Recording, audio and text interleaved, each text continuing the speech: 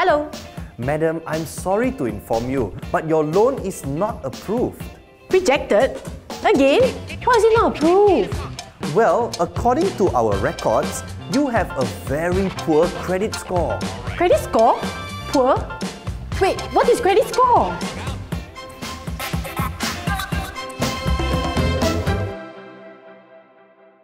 What is a credit score?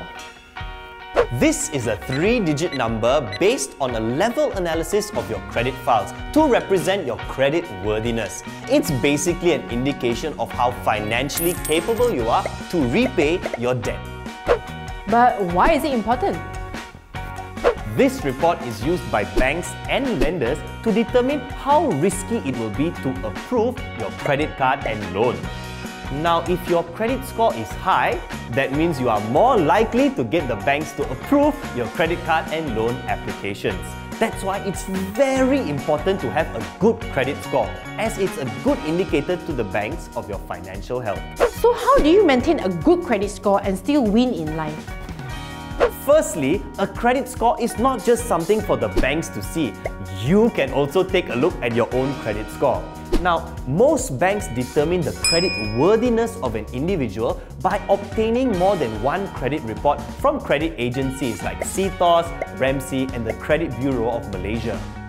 Meanwhile, Bank Negara Malaysia manages CCRIS. This is a database of all Malaysians' credit reports.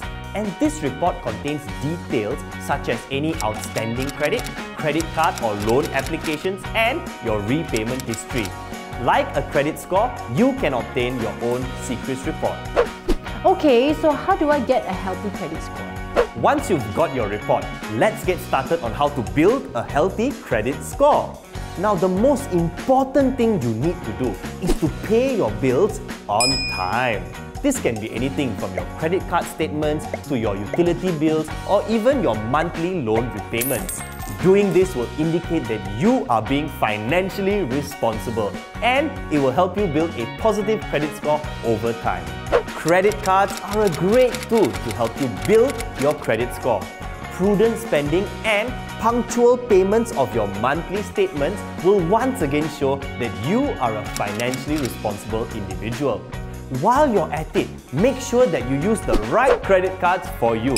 Because if you're building your credit history, why not use credit cards that give you cashback? Yeah, that's a win-win situation right there.